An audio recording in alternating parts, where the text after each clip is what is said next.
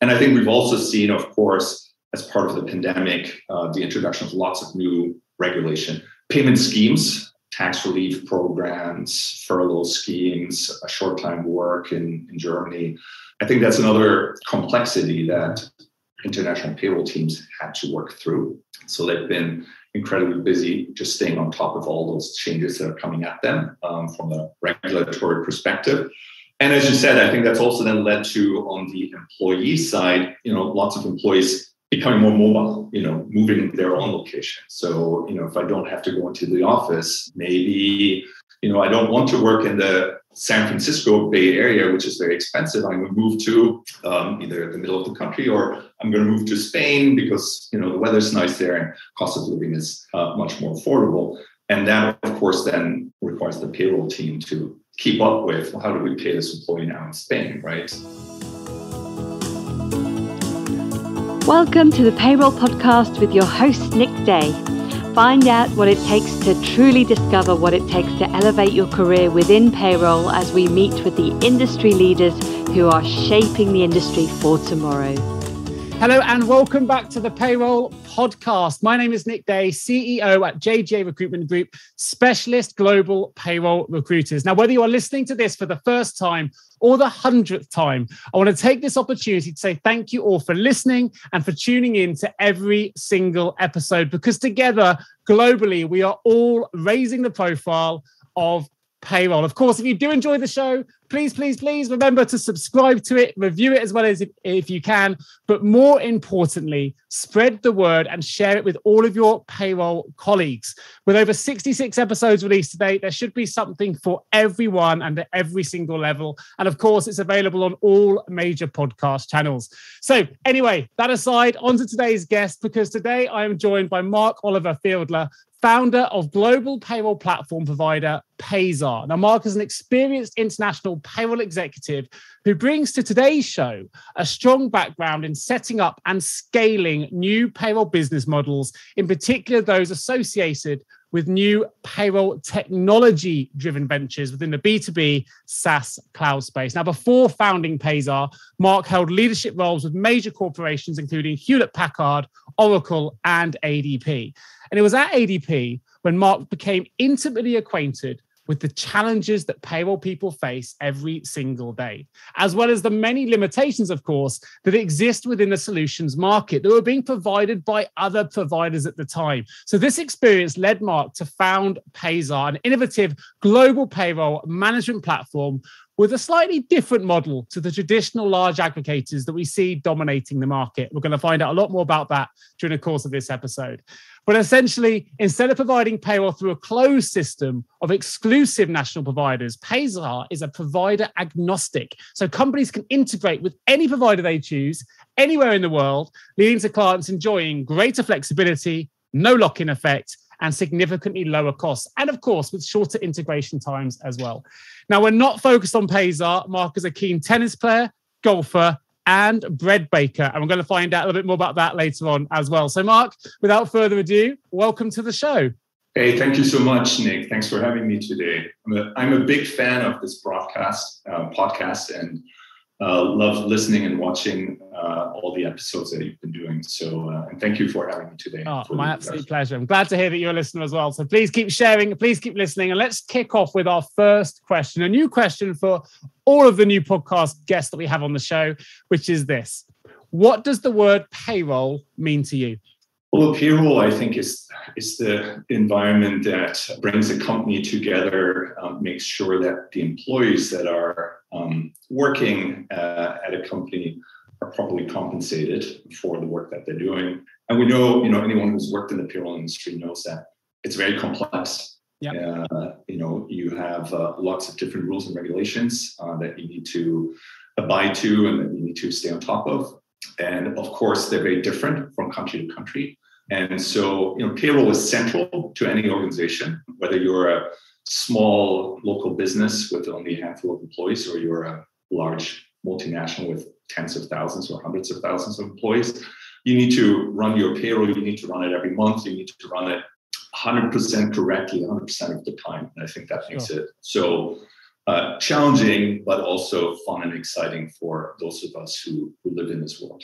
Couldn't agree more. Now, of course, I mentioned in my introduction, you are the founder of Payzaar, which I understand you founded in 2016. It's a business that provides a single platform to help clients with their global payroll needs. I love your tagline, which is global payroll made simple, smart, and secure. So tell us a little bit more about the journey that led you to starting this business venture. And more importantly, I guess, as the new world of work that we're all embracing uh, right now, how is the business involved and, and, and where are you now with, with Payzar? Yeah, of course, absolutely. So, uh, look, I guess the idea for um, setting up this business came from um, my period of time that I spent at ADP. So, I worked there for, for about five years, and that's where I really became intimately familiar with the payroll industry and the payroll environment. I, I learned kind of the global payroll model from the inside, um, ADP yeah. being one of the, the leading providers in this space. Um, especially with various different multi-country offerings. And so I saw the complexities that solutions like ADP and you know other uh, global vendors are trying to address. But it struck me that the model as it had been built up by the incumbent providers at the time was not very user or customer friendly in many ways. Uh, it's very um, disruptive for an organization to adopt a solution like that, the sort of traditional aggregator model um, because you have to essentially rip, rip out all your existing local payrolls and then re-implement with new vendors, right? That's part of what this uh, closed aggregator model requires you to do. And you know, most most people running payroll, they don't like to change payroll unless something is not working properly. Sure. Right. Um, and so if you can avoid taking apart the local payrolls, which is a bit like you know doing open heart surgery on a on a live patient, and you can still get the benefits that customers or companies are after in terms of harmonizing, standardizing your payroll operations and processes, um, helping you to integrate your data in one central place and and automate uh, the way you're transacting your your payroll processes further without having to take take out all your local payrolls, that's a very, very appealing value proposition. So I, I, then left when I kind of started thinking about how could this be done differently with a number of uh, co-conspirators from, from ADP, from my ADP mm-hmm. days. We said, well, let's try to do this in a way where customers can leverage everything that they've invested in into the local relationships with their local payroll vendors, or also in their, their in-house um, payroll structures, because a lot of companies are running hybrid models, right? They're having not just everything outsourced, so, so they're also having parts of the population being paid in-house. So let's keep those structures in place, but put our model, kind of the aggregation and the consolidation on top of that. And that's ultimately what is and what has become of that idea is basically we're an open platform. We can integrate with essentially any local payroll system. Uh, by now also integrating with HR and finance solutions that are sitting adjacent to payroll. And so, what that does for customers is that they can basically have all the flexibility working with the best in country vendors, either their existing vendors or where they might want to have a change because they've maybe grown out of the capabilities that the local vendor has provided to them. They can also change that local partner and still bring everything together in our central platform. Right. And so this is very applicable to many multinational organizations that are, for example, moving towards more centralized sort of shared service structures um, that are looking for more governance and transparency across what's happening in the payroll environment. Great. And I guess it's great that it links to so many, so many solutions as well. I mean, taking things forward then where we are at the minute with a new world of work, we're, we're coming out of what has been a, a, a very challenging pandemic for many, particularly within payroll. How do you think payroll has changed after everything that's happened over the last couple of years? And it's not just COVID related. You know, we're looking at workforce mobility, the globalization yeah. of workforces, which we're seeing a huge impact on recruitment services at the minute. Um, we're certainly seeing an awful lot of accelerated digital transformation, which has uh, resulted in a huge influx of new vacancies, which we're we're desperately trying to, to fill and help clients with. And it's, I would say, it's unprecedented for us as a recruitment business. We've never seen more business, uh, never had more positions to work on ever, I think, in 18 years of doing this. That must have had a knock on effect as well within the, the, the, the, platform supplier space. So, how have things changed from a global payroll platform provider perspective? Yeah, it's been it's been certainly interesting times for all of us, right? Um, whether we work in payroll or not, but certainly I, would say in in the payroll world, uh, what we've seen is sort of three big um, trends or impacts on, on the payroll space, on the industry.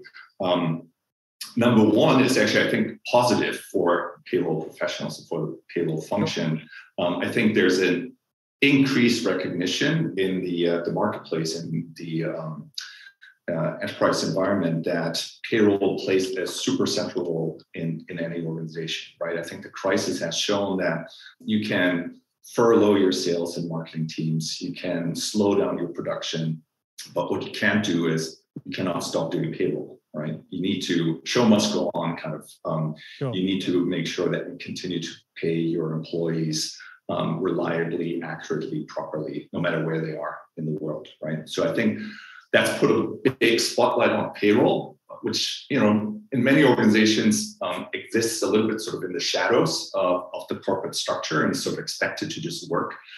And I think we've seen that even in, in kind of public recognition. I think, for example, in the UK, payroll professionals have been uh, classified as essential workers, right? Yeah. And yeah. so I think I think that's a that's in a, in a way a nice side effect of um, if there are such you know things coming out of this um, terrible pandemic um, that payroll just has been sort of elevated in terms of its its recognition as a very essential function. But then I think it's also created obviously a, a lot of additional complexities. Um, what we've seen in the last uh, 18 to, to 24 months. You know, you, you, already talked about the fact that um, you know some organizations, a lot of organizations you know, are very fragmented and siloed, how they traditionally have managed their global payroll environments. And um, as you're getting in a, into a, a crisis situation like this, where you really need to have visibility in terms of who needs to get paid where and what's going on, and you don't have your normal uh, on-site interaction mechanisms,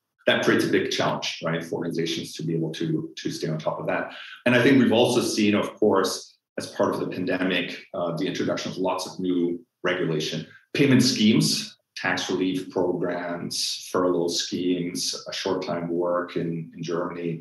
I think that's another complexity that international payroll teams had to work through. So they've been incredibly busy just staying on top of all those changes that are coming at them um, from a regulatory perspective. And as you said, I think that's also then led to on the employee side, you know, lots of employees becoming more mobile, you know, moving their own location. So, you know, if I don't have to go into the office, maybe, you know, I don't want to work in the San Francisco Bay Area, which is very expensive. I'm going to move to um, either the middle of the country or I'm going to move to Spain because, you know, the weather's nice there and cost of living is uh, much more affordable. And that, of course, then requires the payroll team to keep up with well, how do we pay this employee now in Spain, right? Um, they've maybe never had someone living in Spain, and so suddenly they need to figure out how to how to do that. So I think there's been a number of different impacts and challenges, uh, good and bad in a way, or you know, creating more complexity for for the payroll team that um, that have resulted from what we've seen in the last um, 18 to 24 months. I think it was quite ironic. You mentioned at the start there, businesses were furloughing staff to try and slow things down. But actually, every time they furloughed somebody, it actually made the payroll function busier and harder as they had to deal with all the calculations and everything else. So it was a, it had a the reverse effect on payroll departments. So certainly in the UK anyway.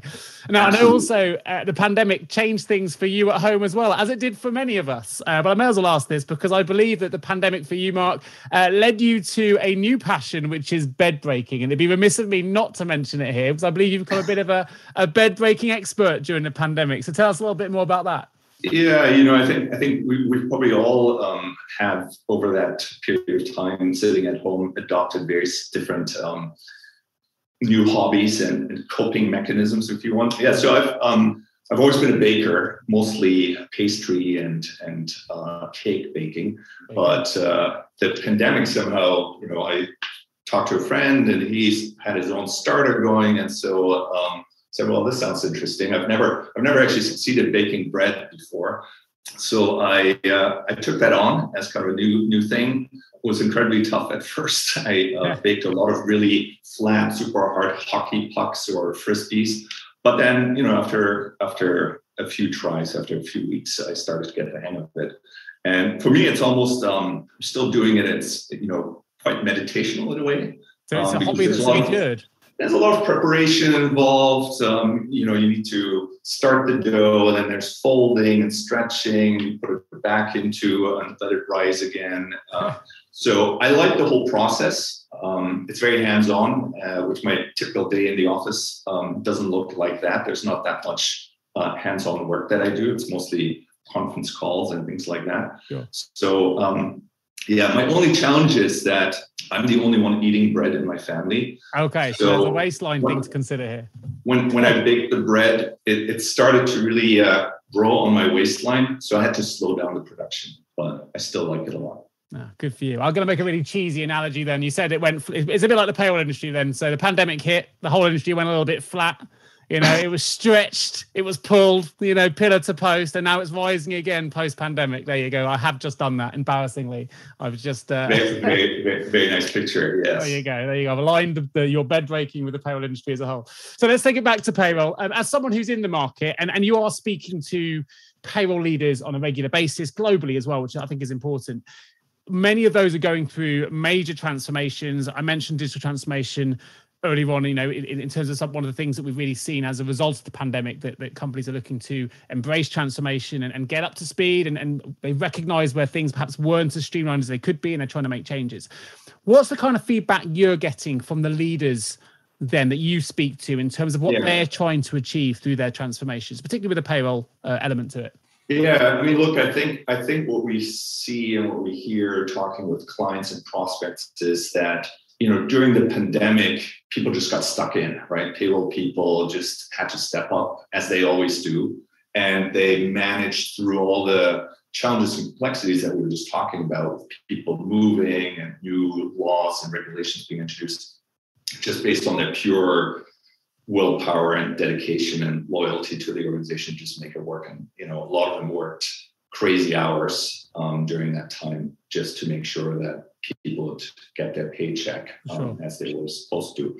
But I think there's a there's a recognition that that's not sustainable and that you know there's some lessons learned from this pandemic as well in terms of how we need to transform the payroll function to make it more resilient for future crises to make it more sustainable and more you know scalable as we as we move forward uh, so we're, we're seeing three big themes um, really when we when we talk to clients in terms of what they're trying to uh, achieve and how they're trying to transform and advance their their payroll functions number one is around centralization so i think a lot of organizations throughout the pandemic have realized that we don't really know how the payroll gets done um, in far-flung countries that, that we have in our um, in our company portfolio. Uh, we really need to have better visibility, better access, better governance over how we're executing our payroll in a reliable manner. And so, you know, shifts toward more shared service structures, towards centers of excellence are something that are um, you know, definitely quite common. Also, um, so one driver is governance and, and control and, and, and better um, resilience. But there's also obviously a cost aspect to that as well, because I think know a lot of organizations have been hit hard financially from a uh, economic perspective, and so they also need to do more with less. And so again, kind of centralizing and finding synergies is a way of doing that. Second big aspect then is digitization and, and automation. Um, as we already talked about, in a lot of parts of the, um, the, the, payroll operating environment, things are still extremely manual. Lots of spreadsheets and emails being being sent around, manual data entry and re-entered from one system into another system, and and that creates obviously inefficiencies, but it also creates singular points of failure, uh, which in a you know crisis environment is not a good thing. So I think there's a drive to bring more tools and smart technology to, to the forefront that can help to at least minimize. We can't, you know, eliminate um, certain manual uh, task activities, but tries to minimize the reliance on people and creates more more efficiencies that way. Uh, and then I think the third aspect of that is you know attempt to create more employee self-service capabilities in the payroll environment as well. I think by now we're all very used to accessing information, whether it's a bank information or entertainment services or shopping through our little devices online, you know, in the middle of the night, whenever we want to. And I think the same expectation carries over into our work environment as well, right? As an employee, I want to be able to, you know, access my pay statement or other documents or make changes anytime, right? And um, I don't want to have to call in or wait until someone, you know, is is available online. So I think that's the third big thing that we see is more shift towards um, self-service capabilities, which also relieves some of the workload on the payroll department, right? If more things can be done by the employee themselves, then you're not relying as much on um, on your payroll administrators to do those sometimes very, you know, menial tasks. But um, if you don't have the tools, someone needs to needs to do them, obviously. Yeah, I, I think um, we're seeing we're seeing similar things in the in the recruitment space. I probably would have come up with the same three. You know, centralization definitely. Um, you know, everyone's looking to, to to, to the new world of work has changed the way that we work and where we're based to do those things, and having a central yeah. contact makes it easier. And so, if you think about those three things: centralization, digitization, automation, and then more self self service. So to get there, obviously, you know, you need to you need to invest in future processes and future infrastructure and that's where I think sometimes the challenge comes for organizations because budgets are still tight uh, in yep. a lot of industries, a lot of organizations. So what we're seeing and what works quite well for our specific model is that companies are increasingly interested to figure out how can we leverage what we've already invested in, our existing provider relationships and infrastructures, while improving on top of that, right? They don't want to, they, they need a fast payback. Yeah, uh, getting more out of what they've already say, got let's yeah. start a project that's you know going to cost us hundreds of thousands of, of dollars and, and, the payback will come in you know 18 months or 24 months or 36 months of implementation um, they want something that sort of pay as you go and gives you returns very very quickly right sure. and, and that's where i think the open payroll model that we're trying to pioneer really resonates in, in the conversations that we're having have you ever asked yourself, how can I recruit payroll staff effectively? Please don't give up on your recruitment project just yet. Here at JGA Payroll Recruitment, we appreciate the difficulties associated with attracting, recruiting, and retaining top payroll talent. We also understand just how costly a poor payroll hire can be. JGA Recruitment are a niche payroll recruitment agency who will partner with you to resource payroll candidates who will improve both the accuracy and efficiency of your payroll department. Contact us today on 01727 800 377 or visit jgarecruitment.com to find out more. I think you, you also mentioned um, employee self service, which I think links to something I've done a lot of talks about, which is you know improving the employee engagement experience through payroll looking at employees as consumers now. And you know if we're not engaging with our employees if we're not giving the employees that we're paying what they want then ultimately they're going to vote with their feet. We're going to lose company's going to lose talent and, and all the things that go with it. And it, i think it's the most customer centric time it's ever been for payroll professionals and be able to engage with them through and things like absolutely. And, and look, critical. in that sense payroll is a great great opportunity because it's a very um, regular interaction, right? Yeah. At least sure. once a month in most um, in most environments, or sometimes even you know once every week or every two weeks, you have a touch point with your employee, right?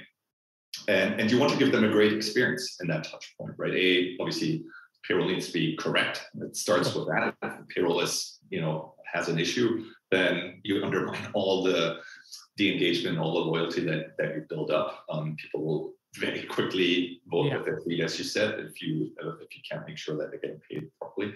But I think also you know giving them a more modern and more user friendly experience as they're acting, interacting with their employer through this um, payment process is uh, is I think a very nice opportunity to tie your employees closer to the organization.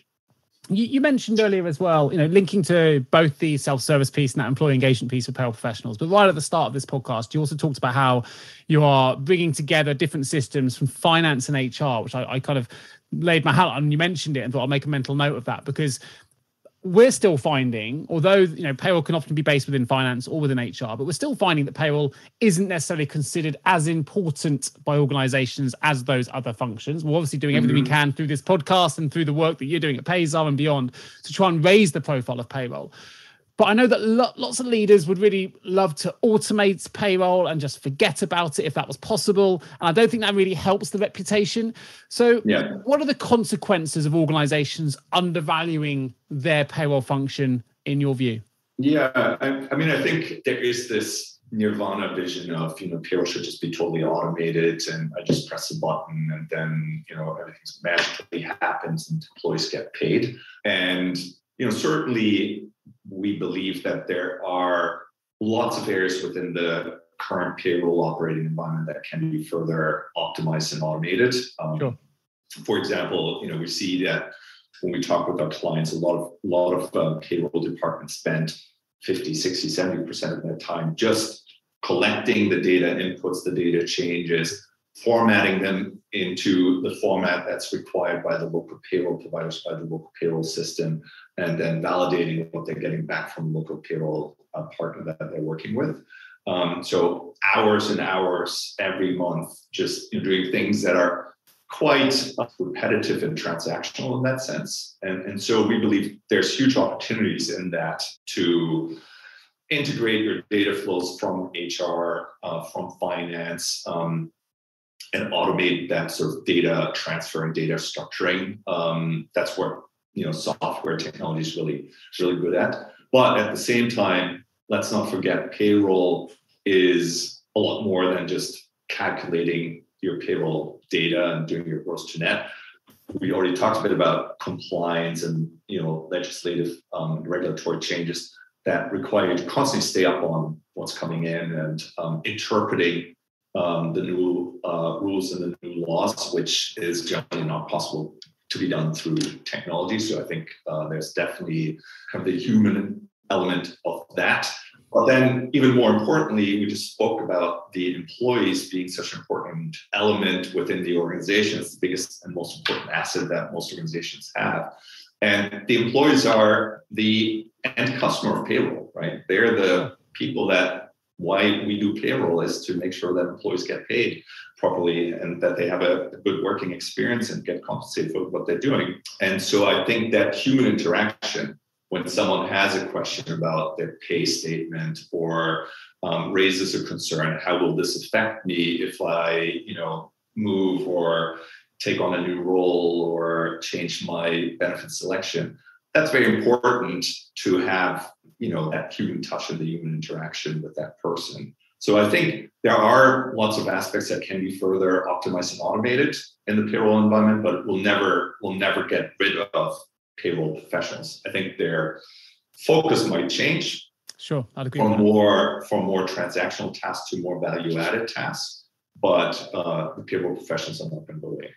And i think one thing that i would add is in terms of increasing the perception uh, or improving the perception of payroll from being viewed as kind of commodity and very transactional to being viewed as a more important strategic function in the organization is uh, the fact that payroll sitting at the intersection between finance and HR collect, collects a tremendous amount of information about the organization, right? Yeah. Typically, the payroll data holds the most current, the most accurate information about what's really going on in the organization. Who's within the organization? What are they doing? Are they getting paid? Are they working overtime? Are they out sick? Um, no other system contains that sort of rich information. I think making more strategic use out of those insights is a huge opportunity for payroll. I think in the past, people working in payroll, we focus more on is the payroll correct? And that's obviously still very, very important. But I think realizing that all this rich data that we're sitting on can be used maybe not by the payroll person directly but by you know your cfo your financial analyst your compensation um, uh, strategist your uh, heads of hr to make smarter business decisions about the organization about the business. Um, i think that's incredibly important. Now it takes good tools to to to bring that together, right? Because part, part of the challenge with the data is that unless you have a good global central uh, you know infrastructure and solution, it sits in lots of different data silos. So at that point, it's quite hard to make any good use of it. But if you can bring that all together, we believe that there's incredible value in that data that uh, will serve companies extremely well. Yeah, couldn't agree more. I think there were lots of payroll uh, leaders listening to this in, in total agreement. I would add, though, to that list of uh, titles you gave a moment ago, the potential for a payroll director to also be managing that. There aren't many payroll directors now, but we are seeing as recruiters um, a real increase in the number of companies now employing payroll directors or moving payroll leaders into directorship positions, which I think is quite interesting. And you mentioned yeah. the data. You know, they the world now considers data to be the most valuable commodity that there is. So payroll actually now responsible for the two most valuable commodities within any business, which is number one or three, arguably, finance, which is money because they they handle more money than anywhere else by paying out. Two, the amount of data they're managing, and three, the, the employees at their disposal. In the sense, if they get that wrong through that employee centric experience, then that can have a major impact on the business. And if you pull those three things together, it really, for me, heightens and, and demonstrates just how important the role of payroll is. Taking Absolutely. what you just mentioned further, Marc, to the next level, then before we open the vault, with all the things you've mentioned from automation to being employee centric to the importance of the role of payroll professional in the future being strategic and utilizing data. Where do you think payroll is going then in the next five years? If we were to fast forward now to 2026, what's the world of payroll if you could predict it with your crystal ball? What does it look like? Yeah, I wish I had that crystal ball, but um, and we all. And yeah, but you know, cer- certainly I have my views and my my my kind of um, perspective on on where we think, at least from our where we're sitting, where things are going. So I, I think, look, um, you know, payroll is going through a big transformation. Um, in parts, accelerated what what we've gone through over the last eighteen months. What we see and what we believe in uh, that there is a trend, a shift towards um, more open, flexible uh, platform solutions. And you know, you could say, well, you know, that's that's kind of coming from a biased perspective, but it's informed by what we've seen in other industries. You know, if you think about you know spaces like transportation or um, hospitality or entertainment, right? All those spaces have been transformed and are now sort of really uh, run by open platform models, um, whether it's Uber or Airbnb or TripAdvisor or Netflix or LinkedIn in the recruiting um, space. All those are open platforms, right? They, they work in very different industries, but what they have in common is they're open platforms. They make it possible to access information and to transact and find local service partners in a very transparent and, and flexible manner, right? Where previously, if I take the example of, of the hotel space, right, you had close franchise networks, the Marriotts and the Hiltons. And you know, if I wanted to go to Shanghai and I didn't know anything about Shanghai, I would just go, you know, I'm going to book a business business trip and I'm going to book my room in one of the brands that I know and that's safe and uh, I'll do that. And I think now with you know, things like booking.com or Expedia or whatever travel platform you use, you have a lot more opportunity to work with very capable, smart, competent service providers and find that boutique hotel that maybe, you know, provides a fantastic service, better service than one of the big brands at a better price and be assured that you're going to have a good experience because you know you see the experience that other people have had and it's easy to transact with them. I don't have to speak their local language. Uh, i can pay in my my currency. And so i think what we're seeing what we're expecting to happen in the payroll world is something similar um, a transformation from these closed network franchise solutions um, that we call aggregator solutions in, in, the payroll world to more open models um, where it's easy to interact with lots of different um, service providers, easy to bring it all together in a central place, and gives ultimately gives the choice back to the customer and the power in the relationship back to the customer to pick and choose what fits their needs, what fits their budget, and still bring it all together in one central place so that it reduces the complexity and um, and, and, simplifies your uh, your global payroll experience. Sure, I think the world is certainly going more towards. You know, you talked about a lot of the services there, which actually are street, you know, almost like streaming services or on-demand services. And uh, you know, the biggest taxi company in the world now is Uber, but it doesn't actually own any taxis. And Bookings.com exactly. you referenced doesn't actually own any hotels. And I do, you know, I do think that's the world that we're moving into now. It's everything on demand and and being consumer focused. Uh, an interesting uh, view. It'd be interesting to see how that how that works out. We'll listen back to this in, uh, in five years' time. So listen, we're going to open the vault. Uh, some short, sharp questions, uh, short, sharp answers entering the vault. One piece of advice you would give to someone working in payroll right now? Talk to your peers, talk to lots of people. Um, I think payroll is a very, in many ways, a very niche um, space, but it's also quite close knit. And I think getting to know other people that work in the industry, it's not a tremendous amount of events that you know bring us together per se. Certainly over the last 18 months been hard to mingle and, and socialize but i think there's lots to learn you know from each other. And uh, so i think reaching out and learning from what others are doing is very important perfect. If you had the power of foresight and you could change the entire payroll industry with just one action or one improvement what would that one action or improvement be? What we're all after is kind of reducing the friction between different systems and different the, the different sort of data environments that uh, that you have to work in order to get payroll done. So, you know, if there was a magic wand to, you know, magically harmonize all the, the, the data across and all the information that sits across the various different systems, I think that would be that would probably be make make a lot of us very happy. I guess it, you know, if you ask me the magic wand, I, I remember when I was working at ADP, we actually looked at could uh, we create a single global payroll engine. That's sometimes also sort of the myth when I talk to people yeah. that we haven't spent as much time in the payroll, global payroll space. Why couldn't we just have one single global payroll engine uh, that can be calculating payroll anywhere? So I think if I had a magic one, it would be that.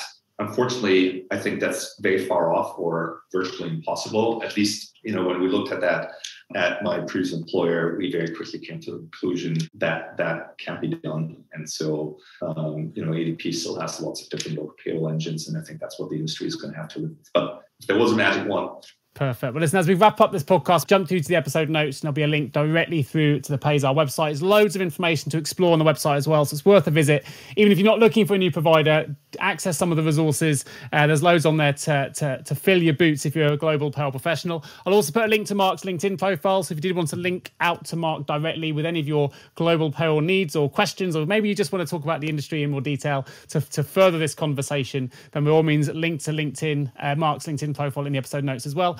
And of course, if you're a payroll leader listening to this podcast and it's not global payroll that you're looking for right now, but it is payroll talent, please do give us a call. Here at JGA Recruitment, we specialize in finding the best global payroll talent, and we would love to help you. You can find out more about us at www.jgarecruitment.com. And of course, that link will also be in the episode notes. Just leaves me to say a huge thank you to Marc-Oliver Fiedler for joining me today from Payzaar. It's been a fascinating conversation about the world of payroll, the future of payroll, global payroll, platform providers, aggregators, and more. It's been fascinating. So, Marc-Oliver, thank you so much for joining me today.